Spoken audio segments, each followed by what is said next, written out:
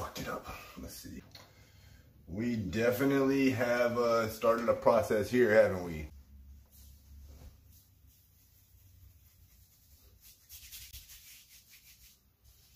Okay, what else?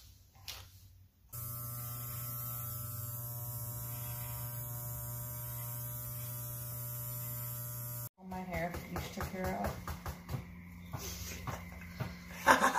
Look at the little horn on the side. yeah. That's funny, right? yeah. And then you just set a timer. Yeah. Check it as you go. And then what's the base time? Like 30 minutes? Yeah, like 20 minutes. I look fly with the shade. Took a good nap.